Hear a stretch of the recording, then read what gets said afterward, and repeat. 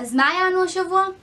שוב פעם המשטרה ממליצה להעמיד חברי כנסת לדין? אנחנו זכאים לפוליטיקאים נקיים מכל רבב.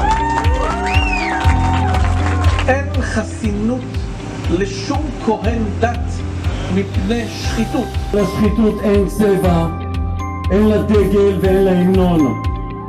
היא שייכת גם לשמאל וגם לימין.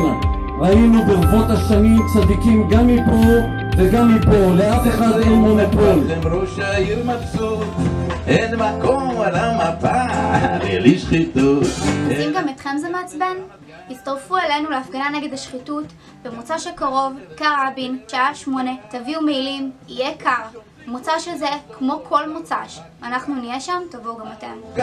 הרשימה והעירייה קצרה